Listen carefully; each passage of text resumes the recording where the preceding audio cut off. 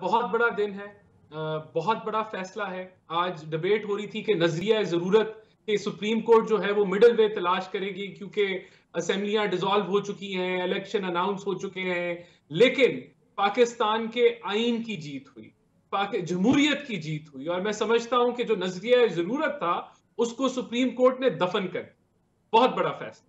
और देखें, एक और चीज़ इसके साथ हुई। दो धब्बे इमरान खान के साथ हमेशा लगे रहेंगे। एक कि वो उसने आइन तोड़ा, वो आइन शिकन है, जो कि पहले पाकिस्तान की तारीख में डिक्टेटर करते रहे और ये पहला जमहूरी लीडर है जिसने आइन को तोड़ा।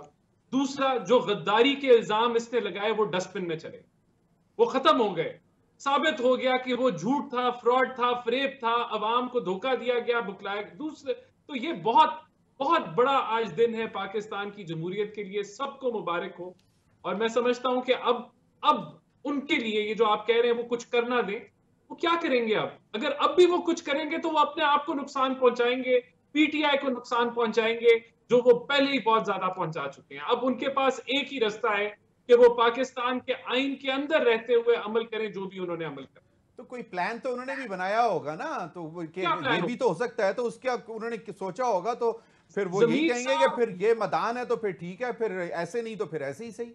देखिए ये ये कोई जमहूरियत के अंदर, ये कोई, ये खेल नहीं है। पाकिस्तान मज़ाक नहीं है। पाकिस्तान का आइन मज़ाक नहीं है। पहले भी उन्होंने मज़ाक किया पाकिस्तान के आइन के साथ। पाकिस्तान की मीशत के साथ मज़ाक किया। आज आप देखें, जमीर साहब ढाई परसेंट मॉनिटरी पॉलिसी का रेट इन्होंने बढ़ा दिया, जो रोक के बैठे हुए थे तीन महीने में। डॉलर दस रुपए छलांग मार दिया।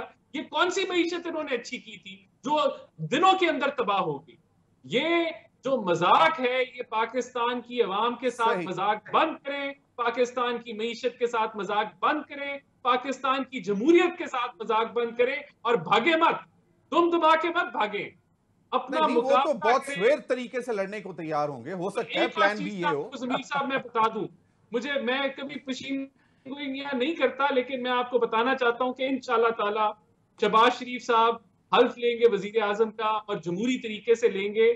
और ये जो धब्बा इमरान खान ने लगाया अपने ऊपर ये इनके ऊपर आज नहीं कल नहीं चले। तो अगले साल के, लेकिन कभी ना कभी आर्टिकल सिक्स लगेगा इमरान खान सही सही। बदकिस्मती से जमीर साहब जो पिछले साढ़े तीन साल रहे वो इमरान खान की ईगो जो है वो पाकिस्तान को ले बैठी। ये आदमी इस काबिल नहीं था कि ये सबको इकट्ठे लेके चल सके ये अपने कोलिशन पार्टनर्स को इज़्ज़त दे सके ऑपोजिशन को इज़्ज़त दे सके और सबको कंसेंसस डेवलप कर सके। लेकिन मैं अब समझता हूँ कि अब ये जो एक कह लें कि पोलराइजेशन थी, उसको हम खत्म करेंगे।